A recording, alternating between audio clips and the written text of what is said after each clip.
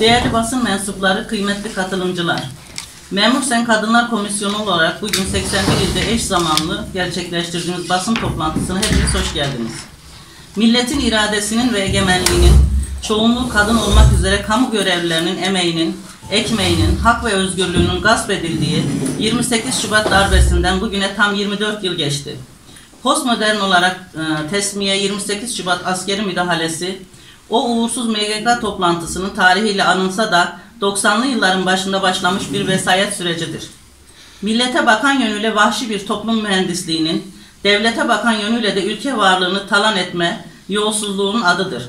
Milletin içinde çıkan inançlı kadroların iktidara gelmesini hazmedemeyenlerin, şuursuz intikam hırsıyla 6 milyon kişi hukuksuz fişlenmelerle sakıncalı ilan edildi. Binlercesi haksız soruşturma ve kovuşturmalarla mahkum edildi.